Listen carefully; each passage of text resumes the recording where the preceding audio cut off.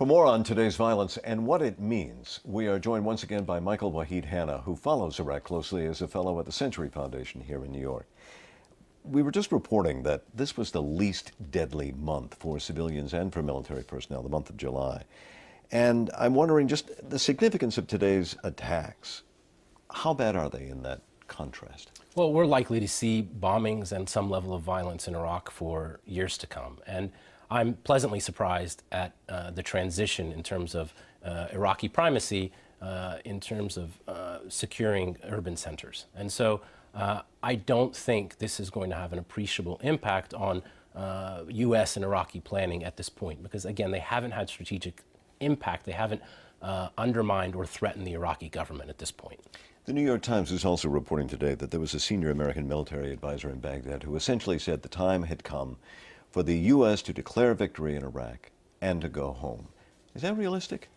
I think more importantly is, is that the memo raises lots of important points and, uh, and perhaps breaks us out of a bit of complacency in regard to Iraq policy, which has been somewhat driven by uh, solely by timelines and hasn't thought about the big picture, about the costs of the U.S. presence, uh, the potential for increased friction on the ground, the limitations on what the U.S. can do uh, I mean, it's not our country. The Iraqis are increasingly sovereign, making decisions. And I think it's important that we think about uh, what we want uh, the U.S. presence to look like and whether we can afford to have a smaller presence uh, and perhaps shift to a more diplomatic approach. And that that might be a way to, uh, to create a more sustainable framework for U.S.-Iraqi relations going forward. It definitely seems that there's been a significant change since the implementation of the new status of forces agreement and that, if I read you right, perhaps the longer we stay, the greater the opportunity for there to be disagreements between our two governments. Well, I mean, you know, part of it is public posturing. It's an election year. Uh, Maliki and the government want to be seen as the providers of security,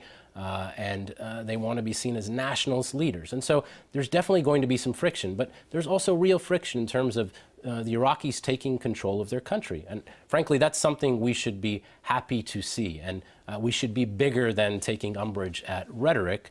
Uh, and obviously, there's some awkwardness right now in terms of defining proper roles, how that how the militaries will interact. And so there is going to be some tension, and those are things that could increase in the future and maybe undermine uh, the relationship and the interaction between the United States and Iraq going forward. Quickly, uh, Secretary uh, of Defense Gates said that perhaps we could accelerate the withdrawal of troops next year.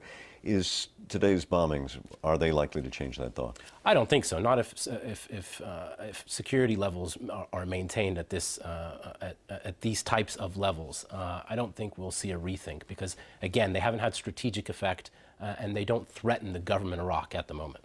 Michael Wahid Hanna, thank you very much. Thank you.